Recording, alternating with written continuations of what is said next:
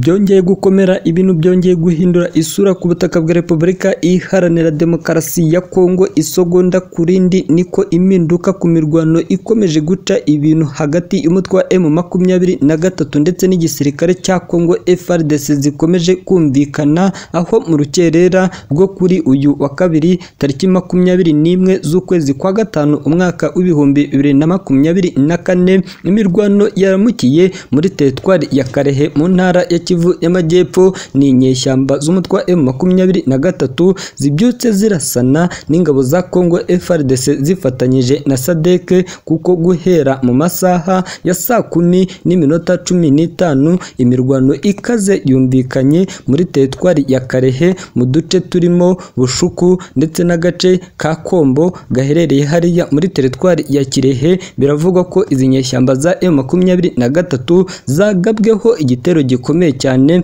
n'ingabo za Sadeke ingabo za Sadeke zaturutse muri Minovo ziramanuka zifata agace ka Bweramana maze binjira ahangaha muri Kirehe batangira gusuka ibisasu biremereye mu gace ka Kombo mu gihe inyeshyamba z'umutwe wa FDLR zari ziyobowe na Liyetona Koloneli Kaduruvaya baturutse mu gace ka Bishuku maze banyanyagiza amasasu menshi kuri M makumyabiri na gatatu. Murabizi ko izi nyeshyamba za M makumyabiri na gatatu zari zimaze iminsi zaramaze kwinjira muri Kivu y'Amajyepfo by'umwihariko muri iyi teritwari ya Kirehe zarafashemo imisozi irimo Ndumba. Umutangabuhamya waduhaye amakuru yatubwiye ko inyeshyamba zisanzwe zirwanya ubutegetsi bw'u Rwanda za FNL zifatanyije na, na FDLR n'igisirikare cya Kongo FARDC babyutse barasa amasasu aremereye ku birindiro bya M makumyabiri na gatatu by'umwihariko abarwanyi b'umutwe wa FNL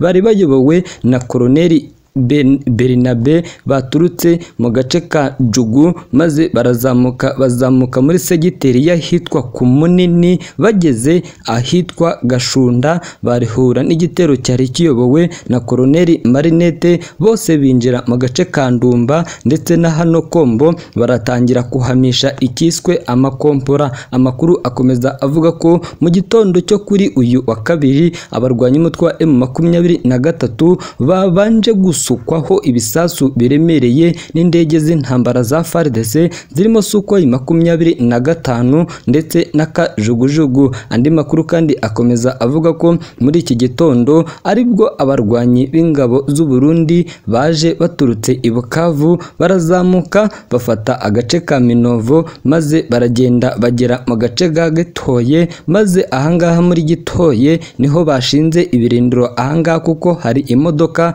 ngo zirenga makumyabiri za gisirikare by'umwihariko za tata bivugwa ko ari iz'abasirikare b'abarundi barimo kuzamuka berekeza mu bice bya Sake abandi bakajya mu duce twa Rwindi hariya muri teritwari ya Rucuru ni imirwano ibaye mu gihe guhera ku wa kane ku itariki cumi n'esheshatu z'uku kwezi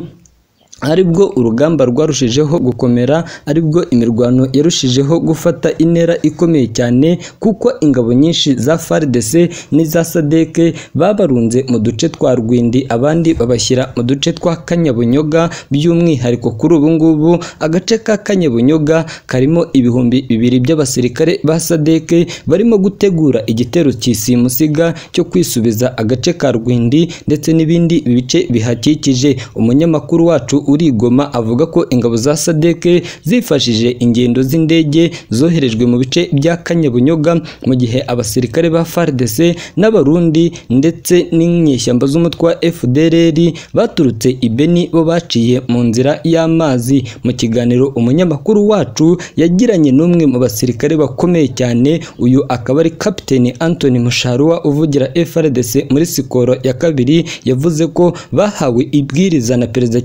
Tshisekedi ko bagomba kwisubiza agace ka Rwindi mu gihe gito. Nubwo bimeze gutyo abaturage batuye Kanyabunyoga ntibizeye ingabo zabo kuko barimo kugaragaza ko nibahashyira ibibunda biremereye nk'ibyo barimo kubona isaha ku isaha aka gace ka Kanyabunyoga nako gashobora kujya mu maboko y'inyeshyamba z'umutwe wa M makumyabiri na gatatu. Kuri ubu ngubu igisirikare cya Congo FARDC kirimo kirategura operasiyo zikomeye cyane kirimo kirategura operasiyo yo kurimbura M makumyabiri na gatatu ndetse kuri ubu ngubu icyo ugomba kumenya ni uko za ndege z'intambara za FARDC zikomeje kogoga ikirere cy'izi nyeshyamba z'umutwe wa M makumyabiri na gatatu by'umwihariko na wakibagirwa ibyabaye ku wa gatandatu ndetse no ku cyumweru kuko ibice byo muri Rucuru ndetse no muri Masisi humvikanye icyiswe amabombe aremereye mu duce twa Kikuyu ndetse na Kibirizi no mu gace ka Kasake. Utu duce twose ibitero by'indege za Sukhoi makumyabiri na gatatu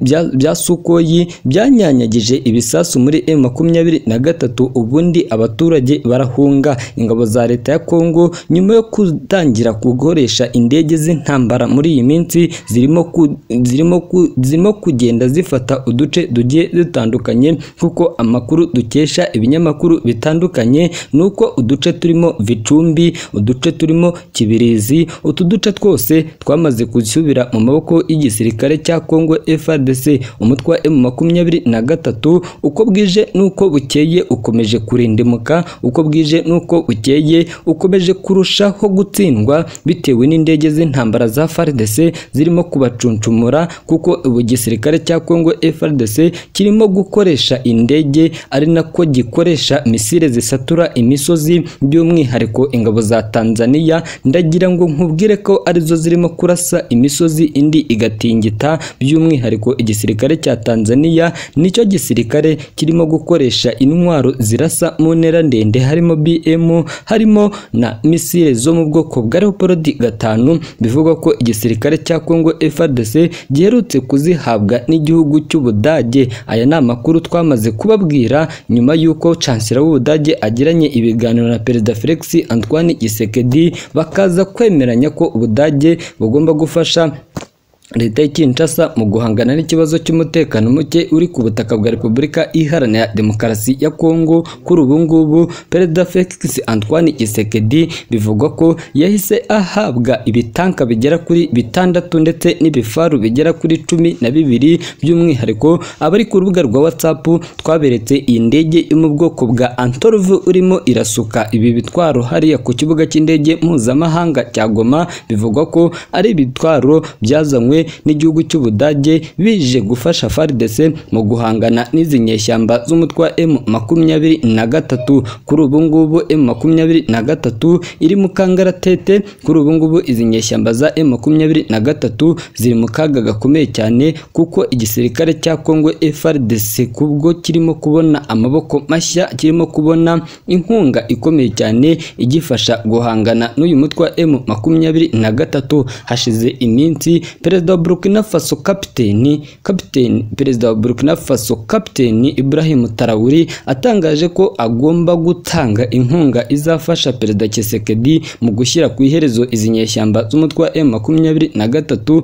ndetse kuri ubu ngubu M makumyabiri na gatatu yaba igiye kujya mu kangaratete gakomeye cyane nyuma y'uko uyu kapiteni Ibrahim Traoré atangaje byinshi by'uko azatanga inkunga izafasha perezida Tshisekedi mu gushyira ku iherezo izi nyeshyamba z'umutwe wa M makumyabiri na gatatu nyuma y'uko M makumyabiri na gatatu igize uruhare igashinjwa kuba ariyo yarashe mu nkambi ya Mugunga hariya mu mujyi wa Goma kuva icyo gihe kugeza na n'ubu ngubu ndagira ngo nkubwire ko abarwanyi ba M makumyabiri na gatatu batararyama ngo basinzire kuko ibikomeje kubabaho ni amateka akomeye cyane kuko ibikomeje kubabaho ni ibitari byitezwe n'aba barwanyi ba M makumyabiri na gatatu kuko kuva icyo gihe kugeza na n'ubu ngubu amahanga yarahagurutse yose yamagana ibyakozwe na M makumyabiri na gatatu kuko muri iriya nkambi ya Mugunga hapfiriyemo abaturage vaga mirongo itatu na batanu mu gihe abandi mirongo ine na batanu bakomeretse by'umwihariko abaturage bapfuwe bashyinguwe hariya mu nkambi, mu nkambi iherereye mu nkengero z'umujyi wa Goma hariya muri teritwari ya Nyiragongo ni umuhango wanitabiriwe na minisitiri w'itumanaho akaba n'umuvugizi wa guverinoma ya Repubulika ya Demokarasi ya Kongo bwana Patrick Muyaya utaraciye ku ruhande wahise anavuga ko nta gisubizo cya diplomasi kizigera kibaho hagati ya M ndetse na FRDC ahubwo hagomba gukoreshwa imbaraga za gisirikare paka M makumyabiri na gatatu iranduwe burundu. Mu gihe hirya no hino kuri ubu butaka bwa Repubulika Demokarasi ya Kongo ndetse no muri iyi si hose icyari kimaze iminsi kirimo kuvugwa ni kudeta imaze iminsi igeragejwe ku butaka bwa Repubulika Iharanira Demokarasi ya Kongo kuko ni ku itariki cumi n'icyenda gicurasi ni bwo itsinda ry'abagabo barirwa muri za mirongo ryagabye igitero ahakorera ingoro y'umukuru w'igihugu mu gace ka komine Gomba i Kinshasa ni abagabye igitero bashaka gutera kudeta perezida Felix Antoine Gisekedi gusa iyi kudeta iza gupfubya. Aba kandi bateye bagabye igitero ku rugo rwa Vital Kamere uhabwa amahirwe yo kuba perezida w'inteko nshinga amategeko ku nshuro ya kabiri ya leta y'i Kinshasa nyuma y'icyo gitero ingabo za Kongo zirinda perezida Felix Antoine Gisekedi zaburijemo icyo gitero zifata ababigizemo uruhare mpiri abandi baricwa. Mu mashusho yagiye hanze yerekana bamwe mu bafashwe mpiri bagizwe bagizwe intere abandi barimo barahatwa ibibazo. Mu bafashwe ndetse mu bishwe harimo Christian Murongo umwe mu banyekongo wahoze ari muri leta zunze ubumwe za Amerika ari nawe wari uyoboye iri tsinda ry'abagabye iki gitero. Guverinoma ya RDC mu kiganiro yasohoye ku cyumweru yavuze ko mu bagabye kiriya gitero harimo n'abanyamahanga benshi. Leta zunze ubumwe za Amerika biciye muri ambasaderi wayo i Kinshasa yavuze ko mu bagabye kiriya gitero ku gisirikare cya RDC yise icya kudeta harimo n'abaturage b'iki gihugu. Ni mu gihe RDC itigeze igaragaza ko mu gihe RDC itigeze igaragaza ko u Rwanda hari icyo ruhuriyeho na cyo muri kiriya gitero gusa Michel Macron wahoze ari umudepite mu nteko ishinga amategeko y'Ubufaransa yihutiye gushyira u Rwanda gushyira u Rwanda n'inshuti zarwo kuba hari aho zihuriye na kiriya gitero. Yifashishije urubuga rwa X rwa Twitter yagize ati shyigikiye byuzuye inzego za RDC na Perezida Felix Antoine Gisekedi batsinze igerageza rya kudeta ryakozwe n'abakozi b'abanyamahanga bafite n'aho bahuriye ndetse n'u Rwanda n'inshuti zarwo. Uyu munyapolitike icyo akora nta kimenyetso na kimwe yigeze agaragaza cyerekana ko u Rwanda rwaba rufite uruhare muri kudeta yageragejwe na Maranga ndetse na bagenzi be. Mu butumwa bwe bwakurikiwe n'ibitekerezo byinshi bye ku rubuga rwa X by'abamwamaganiye kure bamugaragariza ko ibi ari ibinyoma bikomeye cyane bigamije no guharabika isura y'u Rwanda. Si ubwa mbere John Lack Macron yibasira igihugu cy'u Rwanda kuko kuva mu mwaka kuko kuva mu mwaka waba wabanje Kinshasa yagiye ishinza Kigali yashyigiye ishinza Kigali gutera inkunga umutwe wa M makumyabiri na gatatu nawe akaza yenyegezamo umuriro anavuga ko ingabo z'u Rwanda ziri hariya ku butaka bwa Repubulika Iharanira Demokarasi ya Kongo uyu mugabo kandi yakunze gusaba ko u Rwanda rwafatirwa ibihano anarushinja kuvogera ubusugire bwa Kongo no gukorera ubwicanyi ku butaka bw'iki gihugu. Muri iki cyumweru inkuru zikomeje kugenda zivugwa hirya no hino ku butaka. Hari n'inkuru y'umurupfu rwa perezida wa Irani kuri ubu ngubu amakuru twamaze gutohoza amakuru twamaze kumenya ni uko ikigo cy'ubutasi cya Isiraheli cyitwa Mossad cyaba gifite uruhare runini mu iyicwa rya perezida w'igihugu cya Irani hari hashize iminsi Irani ndetse na Isiraheli ari ibihugu bihanganye kuri ubu ngubu Irani imaze iminsi